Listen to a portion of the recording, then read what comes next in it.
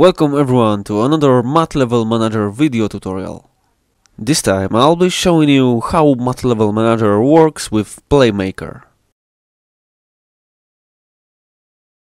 Mad Level Manager asset contains an example of Playmaker integration you can find here.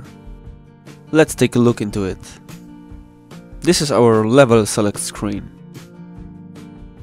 Let's enter first level and follow instructions to see what happens. Yes, we won! Next level and...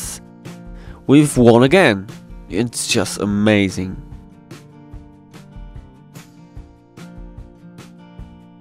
As you see, there are few things to do to make it work like that. I'll show you step by step how to use Mad Level Manager with Playmaker. This is my project.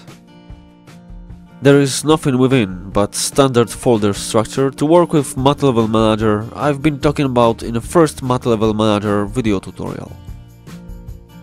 When we have our level select screen, we can create extremely awesome playable levels where we can win using some actions.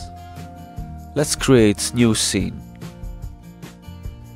Every game needs a hero and every hero needs to be rewarded.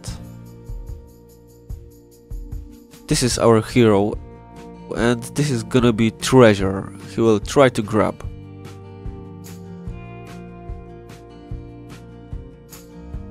I'll add some light to make it better and voila!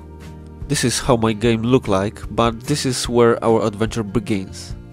Few more clicks and it'll be ready to play. Select our hero and choose Playmaker Editor from Playmaker menu. Okay, let's give our hero some actions to make. At start, he will just stand in place. Create new state called standing.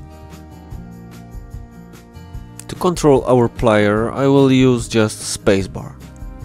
Create new state of pressing keys called get key and select the key you want. In my case, it will be space. In store result field, we have to select variable, like pressing down our spacebar, which should be a boolean variable. Name it space down, select bool, and return to state page. Select our space down variable and check every frame box. Now we have to test our boolean variable. In Action Browser, search for bool test.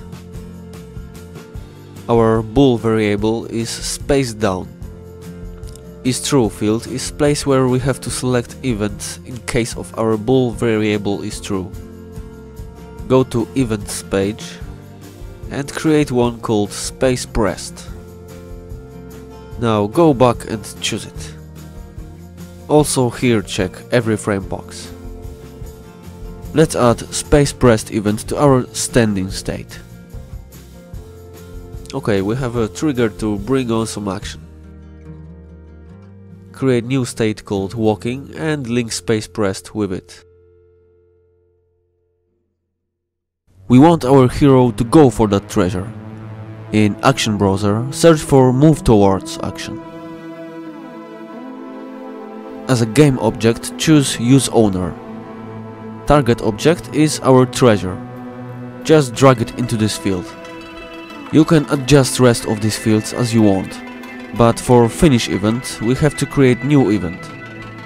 I'll call it treasure reached.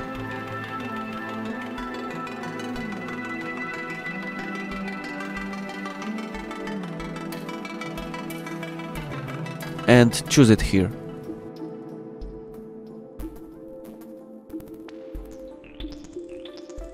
Okay, now our hero should go for it by pressing a spacebar. I'll just add information for player what we have to do to control his hero.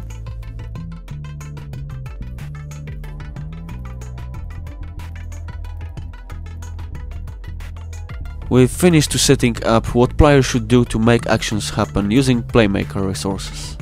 Now it's time to use Mad Level Manager actions to finalize the level setup. I will use them to make the current level completed and to go to the next level in order. Let's create our last state called finish level. We need to get current level name in order to change its properties later. Add action get current level name. In store result we have nothing to choose. We need to create new variable. Name it level name and choose string as a type.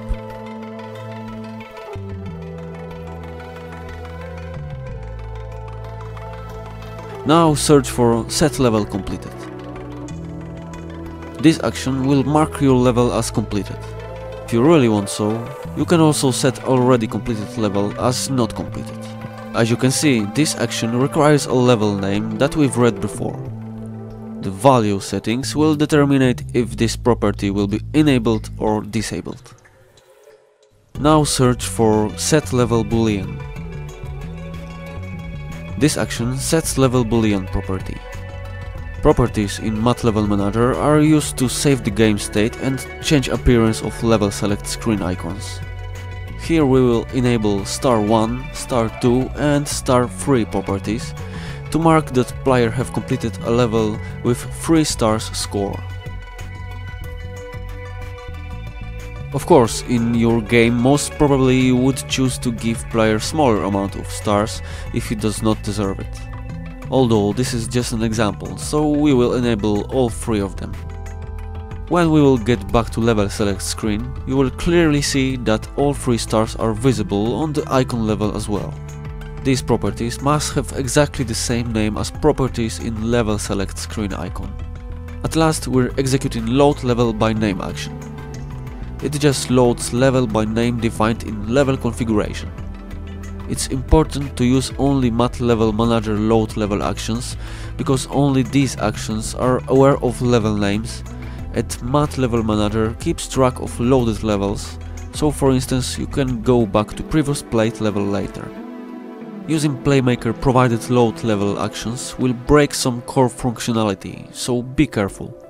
This is how we finally get everything working. Let's test it out.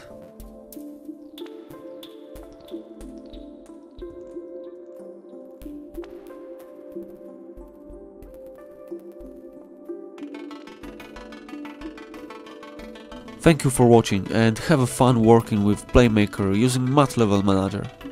If you have questions, please write in the comment section below or by sending an email visible in the description. Cheers!